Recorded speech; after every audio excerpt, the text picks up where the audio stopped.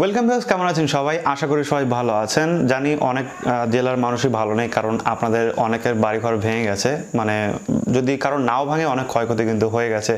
আমফানে plus এই রকম লকডাউনে আজকের এই ভিডিওতে আমি আপনাদের টোটাল পাঁচটা নিউজ নিয়ে আলোচনা করব, যেটা কিন্তু আপনাদের অনেক জানা জরুরি। সো দেখতে থাকুন সম্পূর্ণ ভিডিও যে আমার চ্যানেলের যারা ভিডিও দেখেন, তাদের কিন্তু আমি ফ্রি রিচার্জ করে দিচ্ছি। তার জন্য আপনাকে যেটা করতে হবে, আপনি যে ভিডিওটা দেখেন, যখনই যে ভিডিওটা দেখবেন, সাথে সাথে সেটাকে লাইক করবেন এবং কমেন্ট করে জানাবেন যে ভিডিওটা আপনাদের কেমন লেগেছে?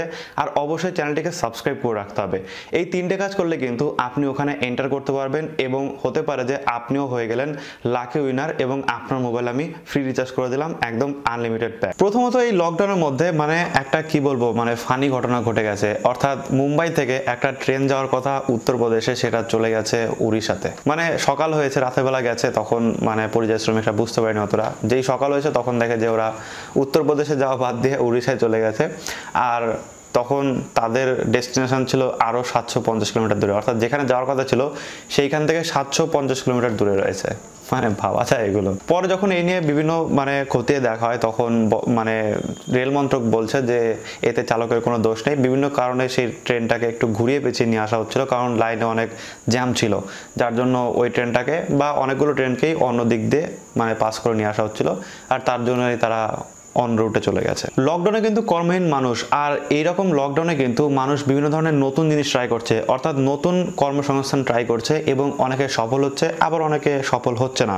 যারা সফল হচ্ছে, তারা কিন্তু এই লকডাউনের মধ্যেই অনেক টাকা আয় করে ফেলছে। এই লকডাউনের পরে আপনি যদি ভেবে থাকেন যে নতুন কোনো বিজনেস শুরু করবেন, সেক্ষেত্রে কিন্তু আপনি মধুর ব্যবসা শুরু করতে পারেন। কারণ এখানে কিন্তু প্রায় পাঁচশো কোটি টাকা বরাদ্দ করেছে সরকার নতুনভাবে। সো যদি কেউ মধু শিল্পের সাথে জড়িত থাকেন বা মধু শিল্প শুরু করতে চান, সেই ক্ষেত্রে কিন্তু সরকার আপনাকে ঋণ দেবে। সিক্সটি ফাইভ পার্সেন্ট ঋণ দেবে প্লাস আবার টোয়েন্টি ফাইভ পার্সেন্ট আপনাকে ভর্তুকি দেবে। অর্থাৎ মাত্র আপনাকে টেন পার্সেন্ট মতো আপনার নিজের জোগাড় করতে হবে। আর এতে কিন্তু প্রচুর লাভ রয়েছে। সো যদি কেউ চান সেক্ষেত্রে মধুর বিজনেস করতে পারেন। তো ক্যালকুলেশন যদি আপনি আমাকে বলতে পারেন সেক্ষেত্রে একটা বছরে কুড়ি হাজার লিটার মধু তৈরি হবে, এরকম যদি প্ল্যান্ট করতে চান সেক্ষেত্রে আপনার মোটামুটিভাবে সাড়ে চোদ্দ লাখ টাকা খরচ হবে। বাট তার মধ্যে বেশিরভাগই সরকার আপনাকে দিয়ে দেবে। কিন্তু আপনি যদি কুড়ি হাজার লিটার মধু বিক্রি করেন আড়াইশো টাকা কেজিতে, সেক্ষেত্রে আপনি ভাবুন যে কত টাকা, প্রায় পঁয়তাল্লিশ লাখ টাকার মতো কিন্তু আপনি আর্ন করতে পারবেন। তার মধ্যে যদি আপনি সরকারকে টাকা ফেরতও দিয়ে দেন, তারপরেও কিন্তু আপনার কাছে এমন টাকা থেকে যাবে যে মাসে আপনাকে দেখা যাবে যে গড়ে এক লাখ টাকার ওপরে ইনকাম রয়েছে। তো এটা সবার ক্ষেত্রে সম্ভব হবে না। মানে যারা ভালোভাবে কাজ করবেন, লোকজন লাগিয়ে, সেক্ষেত্রে কিন্তু আপনি একটা বিপুল অঙ্কের টাকা ইনকাম করতে পারবেন। অর্থাৎ এটাও কিন্তু সম্ভব। ফেসবুকের সাথে ইনস্টাগ্রামের যে যোগ সম্পর্ক রয়েছে, সেটা তো আপনারা সবাই জানেন, কারণ একই মানে ডালের পাতা আর কি। মানে মার্ক জুকারবার্গেরই সম্পদ একটা ফেসবুক ইনস্টাগ্রাম তো ইনস্টাগ্রামেও কিন্তু এখন মেসেঞ্জার রুম চলে এসেছে। অর্থাৎ ইনস্টাগ্রামে যদি আপনি যান সেক্ষেত্রে পঞ্চাশ জন একসাথে কথা বলতে পারবেন। লকডাউনের মধ্যে বিভিন্ন প্রদেশে বিভিন্ন ধরনের কিন্তু সময় করেছিল স্টেট ব্যাংক অর্থাৎ কোনো রাজ্যে খুলছিল সকাল সাতটা থেকে দশটা অবধি, কোনো রাজ্যে খুলছিল এগারোটা থেকে তিনটে অবধি। আবার কোনো রাজ্যে যেরকম নর্মাল দশটার সময় খোলে এবং চারটার সময় বন্ধ হয়, এরকমই কিন্তু হচ্ছিল। বাট নতুন একটা টাইম জারি হয়েছে, অর্থাৎ স্টেট ব্যাংক বলেছে যে এখন থেকে তাদের ব্যাংক এগারোটা তিরিশের সময় খুলবে, অর্থাৎ সাড়ে এগারোটা থেকে তাদের ব্যাংক খুলবে। তার আগে তাদের ব্যাংকে কোনো সার্ভিস দেওয়া হবে না। তো যারা সকাল দশটার সময় ব্যাংকে যেতে চেয়েছিলেন বা সাড়ে দশটার সময় ব্যাংকে যান, যে সকাল সকাল যাব, কাজ করে চলে আসব, তারা কিন্তু ব্যাংক খোলা পাবেন না। তো সাড়ে এগারোটা থেকে আপনাদের ব্যাংক খোলা পাবেন। সো যাবেন সাড়ে এগারোটার দিকে।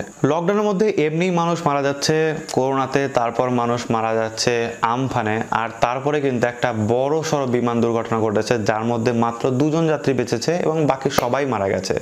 যে বিমানটাই লাহোর থেকে করাচিতে যাচ্ছিল ল্যান্ড করার কিছুক্ষণ আগেই বিমানটি বিধ্বস্ত হয়ে যায়। শেষ যে কথোপকথন হয় পাইলটের সাথে কন্ট্রোল রুমের তখন পাইলট বলেছিল যে, আমি বিমানের কন্ট্রোল হারিয়ে ফেলেছি এবং ল্যান্ডিং গিয়ার কাজ করছে না। অর্থাৎ যে গিয়ার দিয়ে ল্যান্ড করতে হয় মাটিতে, সেই গিয়ারটাই কাজ করছে না।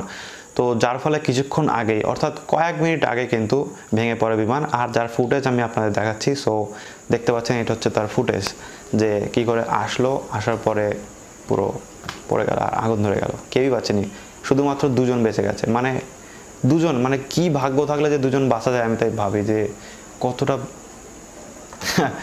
ইমাজিন করুন যে দুজন বেঁচে গেছে এরকম দুর্ঘটনার পরেও।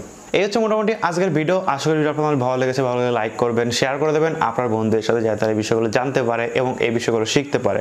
থ্যাংক ইউ সো মাচ দেখার জন্য। দেখা হবে নেক্সট ভিডিওতে টাটা।